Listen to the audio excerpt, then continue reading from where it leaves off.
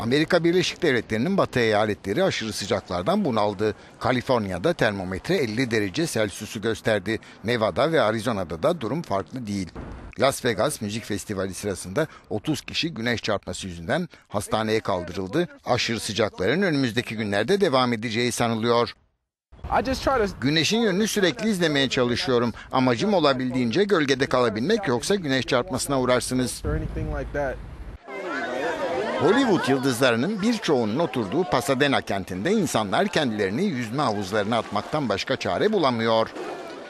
Can kurtaran görevlileri suya atlayıp çıkıyorlar. Onların da serinlemeye ihtiyacı var. Gerçekten çok sıcak. Las Vegas'ta sıcakların yol açtığı ölüm vakalarının artmasından endişe ediliyor. Yetkililer sıcaklığın 100 yıldan beri bu dereceye tırmanmadığına dikkat çekiyor.